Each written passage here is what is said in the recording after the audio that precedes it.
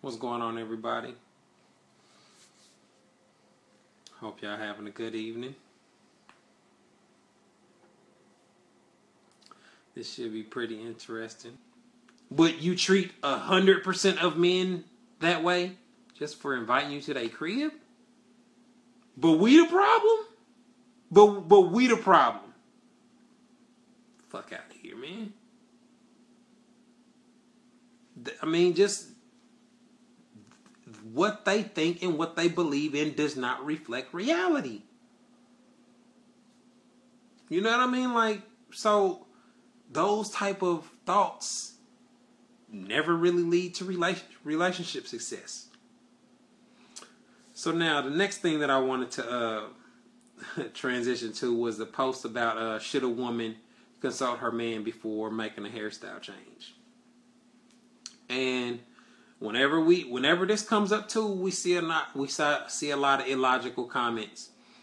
Uh, we see a lot of illogical a lot of myths that women have about men. He's supposed to like how how I look no matter what because he cares about me. That's a very foolish thought. That does not reflect reality. We know that men are visual creatures. We know that that's what gets a man's attention.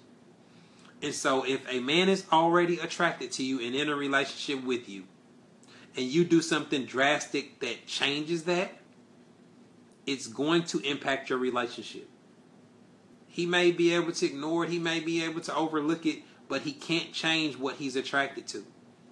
And if he's not attracted to you, it is going to matter. Especially if y'all are in a serious relationship. Because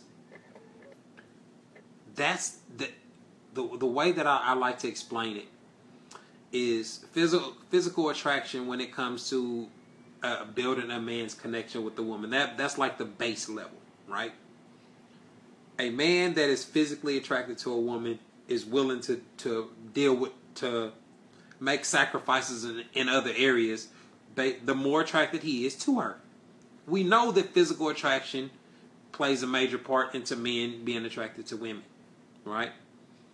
And so if you eliminate that from it, like, yes, if he's physically attracted to you and y'all get along and y'all like the sex and y'all are compatible in this way, then y'all are progressing towards something.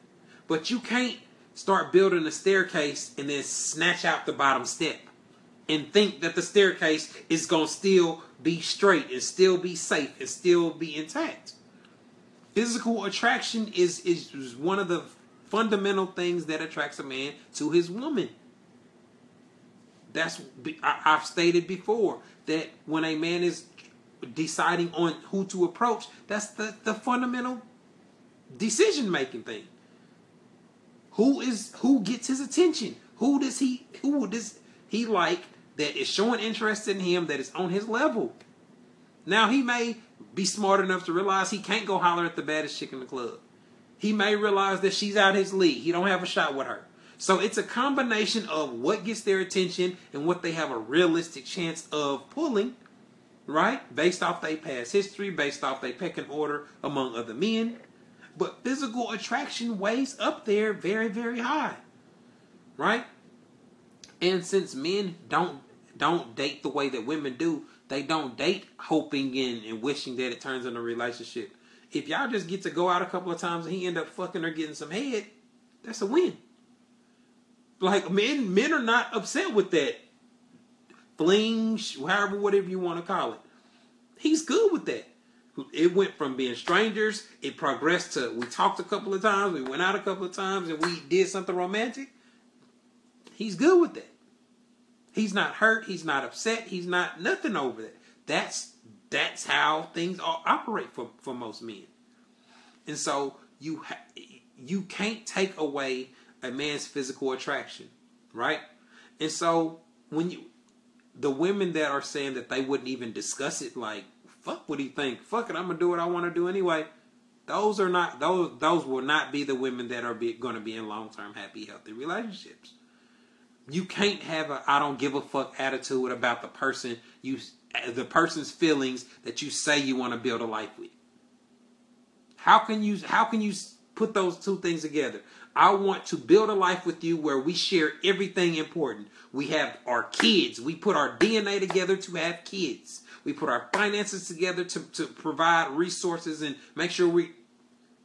But I don't give a fuck what you think about nothing else.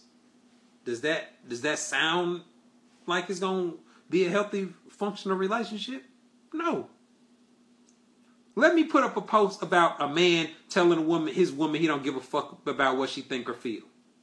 See how see how see how hard y'all go on this man. How quick y'all tell this woman that she needs to leave him. How ain't shit he is. How he's just a fuck boy. But we see women instantly instantly jump to that conclusion. I don't give a fuck. I, am gonna do it. It's my hair. I'm gonna do what I want to do, etc. But those same women will be mad when a man's double tapping the screen on a, with a chick that got the fucking hair that he like. She's insecure now because he's liking pictures of, of chicks with weave and, and shit that he likes, and she didn't cut her shit off, not giving a fuck what he thinks. That's the type of shit that they do, right? They they make a drastic change, completely change the dynamics of their relationship, expect him to, to to to just deal with it and stay the same and get just as hard. It don't work like that, man. Yeah, he can try to visualize you back when you have looked the way that he liked, but that's not reality, man. That's not that's not going to last for very long. And what's what's really going to happen is he's going to start paying more attention to the women that look like he's attracted to. And if that's not you, it's going to create a problem. It's going to create a problem. You going to have a problem with your man not giving you that the, the attention he once gave you. It don't mean he love you any less. It means he's not attracted to your ass. And it's your fault. If, now, there's a difference between people na- aging naturally, something uncontrollable happening, a sickness, an accident, that's not the same thing as willingly doing something that changed that. Or and, the worst case scenario is where you don't like that man. That's really not a turn on to me, man. It's really it. You know what I'm saying? Like he he expressed to you how how how much of a turn off that is to him, and you say ah fuck it, I'm gonna do it anyway. How's he supposed to feel about that? How how is a man supposed to feel about the woman that don't want him fucking nobody else, don't want him giving no other woman attention, don't want him doing anything with another woman, telling him, I don't give a fuck if you you attracted to it or not. You gonna have to take you gonna have to deal with it because I said so type shit. He's supposed to just, yes, babe, you're right. He's he's just supposed to to fucking deal with that. No. But combine that. Now combine that man that's in that situation. Things were all good. I'm with my wife. We we, we everything is straight. And now she's somebody that I'm not even attracted to. I don't really want to be seen with her in public because I don't like that shit. I don't like her. Like his body language around her is different. But when you combine that with the things that I say about why men cheat instead of leave, so is he just supposed to say, man, I, I, I don't even like looking at you no more. I'm fucking leaving you and the kids? No, because that'd be shallow as fuck. That would be shallow as fuck, right? If, if if if a man left his wife just because she cut her hair, we'd all say that's shallow as fuck. So what's he gonna do is he's going to stay there for his family. He's gonna try to be a real man. He's gonna try to deal with it. And eventually he'll probably end up fucking a chick with the hair that he likes on the side. That's what will, will likely happen because he's dealing with the conflict where he don't want to just leave over some hair over something just it's just hair hair grows back. Like you see all the little instances but so he's supposed to just be unable to, to, to be physically intimate with somebody he's attracted to until she decides she gonna grow her shit back what if she never do? You know what I mean? Like so that's why it's seen as being so inconsiderate from his perspective. So, yeah, it's her right to do. It's your hair. You can do whatever the fuck you want to do with it. That don't mean that's a smart decision. It don't mean that that's the best move for you and your family. That don't mean that it's not going to change the things that the, uh, the relationship that you have. I tell y'all all the time, people, what happens in a relationship is based off what they experience with you. If your man is not looking forward to seeing you, that is a problem. He stopped asking you for selfies. He stopped, you know what I'm saying? Like that's that's that's really significant whether you think it is or not. Your man not being looking forward to seeing your, your picture on his phone, that's a significant thing to a man. I I can assure you it is. Cause I look I'm excited when I see my wife on my timeline cause she look how I fucking like. You know what I'm saying? Like she likes she looks how I like. Now that don't mean that's not to say that there aren't attractive women with short hair because I actually like short hair. You know what I'm saying? But it's not for everybody. The percentage of women that I like like that is very small. You know what I mean? So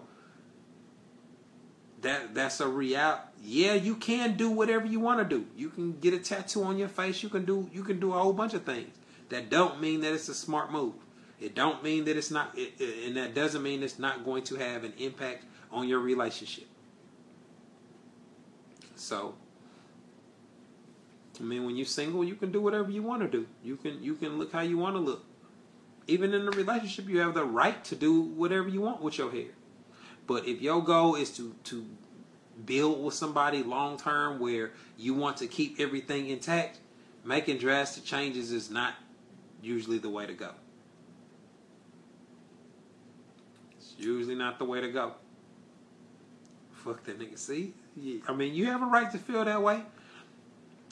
But if if if the roles was reversed, y'all y'all would not feel the same way. Y'all y'all definitely take the woman's side, or y'all be telling her why she need to let him leave or or, or, or kick him to the curb.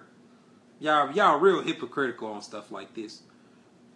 But whenever it's a man having a problem with, with something about a woman, it's always fuck him. He can move on. He, he ain't shit. But just he was obviously enough for you to be your man. You know what I mean? Like he obviously had the credentials to, to be with you. He obviously had the credentials for you to be fucking him on a regular basis. But now his opinion, because he doesn't like something, that erases everything that he's ever done for you, all the time that he's put in, all the love that he's shown you, apparently. Y'all are, but that's not shallow, right? Dismissing the man that was there for you because he don't like your hair, that's not shallow. Him not liking the hair is only shallow. See how fucking hypocritical that is? See, just just think about that. He ain't shit because he don't like something, but you, it, the woman ain't shit because she don't give a fuck about how her man feel. He's the only shallow one. He's the only one that's shallow because he don't just like anything. Like women just like every fucking thing about me. You know what I'm saying? Like that's that's one of those hypocritical areas. The double standard where it's okay for y'all to criticize a man for not liking something where it wouldn't be that way if the shoe was on the other foot. So, I mean, y'all, y'all, y'all are the ones that ultimately have to make these decisions. So, hopefully, y'all, y'all start thinking long term and stop making these short term decisions because you don't. I can't think of one benefit, one positive thing that a woman would get from eliminating her man's sexual attractiveness to her. I can't think of one. I can't think of any way that that helps their relationship out for you to remove the sexual attractiveness that your man has for you. But if that's something that y'all want to do, or it don't matter to y'all, y'all are the ones that get to make all the, the decisions about your dating life, and y'all are the one that have to deal with the consequences.